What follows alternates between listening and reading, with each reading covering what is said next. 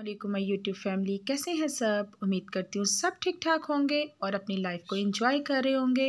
मैं आज बना रही हूँ चिकन कढ़ाई और मैंने लिया है डेढ़ किलो चिकन सबसे पहले एक मैंने कढ़ाई ले ली है और एक कप ऑयल डाल दिया है। दो बड़े प्याज ले लिए हैं, इसको ब्रिक चॉप कर लिया है और इसको ऑयल में डाल दिया है और इसको मैं लाइट पिंक करूँगी। जब तक हमारा प्याज कुक होता है दो स्पून लहसुन अदरक का पेस्ट ले लिया है, वो भी मैंने प्याज के अंदर ऐड कर दिया है। इसको भी मैं लाइट पिंक करूँगी। उसके बाद तीन से चार टमाटर हैं, चार से पाँच हरी मिर्ची हैं। इसको भी मैंने चॉप कर लिया है और इसको भी मैंने कुक कर लिया है। इसके अंदर थोड़ा सा पानी ऐड कर दिया है ताकि हमारी ग्रेवी नीचे ना लगे।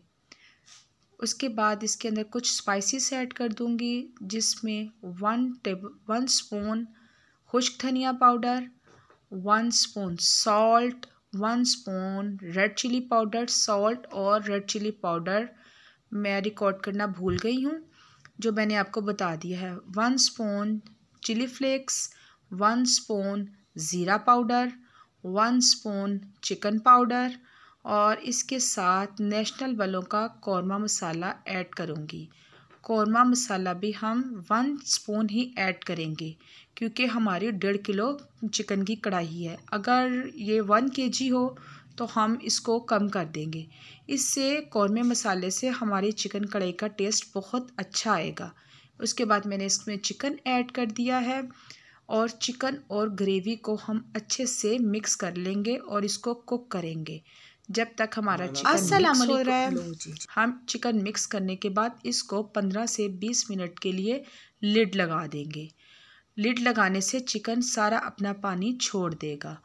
और ये मैंने लिड लगा दी पंद्रह से बीस मिनट हो चुके हैं। अब मैं इसकी लिड हटा दूँगी। ये चिकन ने सारा पानी अपना छोड़ दिया है। इसी पानी के अंदर अब सारा चिकन पक जाएगा। और अब इसको हम अच्छे से कुक कर लेंगे और इसके पानी को हम ड्राई करेंगे।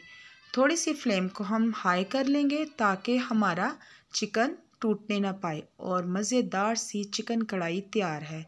अगर आपको मेरी ये रेसिपी चिकन कढ़ाई की अच्छी लगी हो तो प्लीज़ लाइक करें, शेयर करें।